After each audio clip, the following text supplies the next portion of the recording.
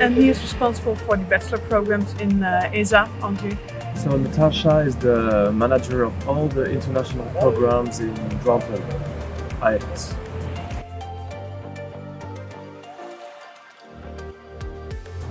Well, uh, this is about uh, 20 years now. Uh, we started with uh, two students and uh, currently we have uh, good groups of students moving from France to the Netherlands and back.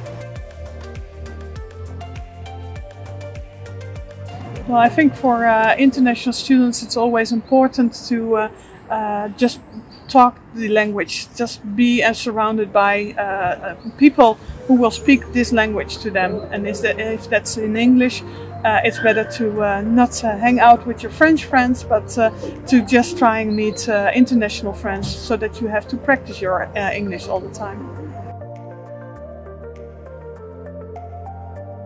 Yeah, so those two pedagogies are a bit different and complementary. So the French pedagogy is more a latent system, so we take the students by the hand, um, uh, we try to accompany them quite a, quite a lot. Uh, whereas Dutch pedagogy is more oriented towards the, um, the, the, responsibility. So, for instance, they need to read uh, books or chapter, chapters of some books before going to the class. So it's more of a um, reverse pedagogy. So you need to take more your responsibilities. So in the end, those two pedagogies are really, really complementary. And I think that's what the students are looking for. And when they speak about it afterwards, they really appreciate it. Uh, I think that uh, students are very flexible and uh, more flexible maybe than staff members who are fixed in a certain system. Students will observe instantly that it's a different system uh, in whatever way.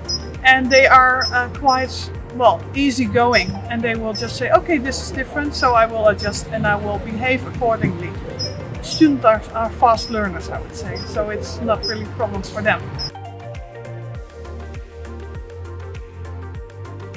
Uh, it's a, a small uh, town, it is in the rural area, uh, so we are surrounded by polder area, farms, uh, and, and this can be animal or horticulture.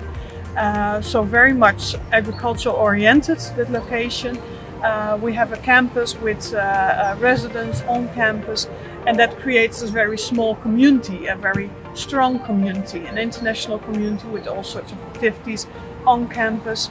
Um, although it's a small village, we have a train station that brings you within an hour to the midst of uh, uh, Amsterdam. So if you want to see something of a bigger city, that's also possible. But in the meantime, it is a very uh, well safe and, and good environment, pleasant environment to study. Well, I uh, would advise them to uh, enjoy the program. Uh, of course, study hard, but it's also very much an experience, and it's an experience in the program, but also outside of the program. Uh, and they learn as much outside of the program as inside of the program, so they should benefit from all the chances it offers them to be abroad.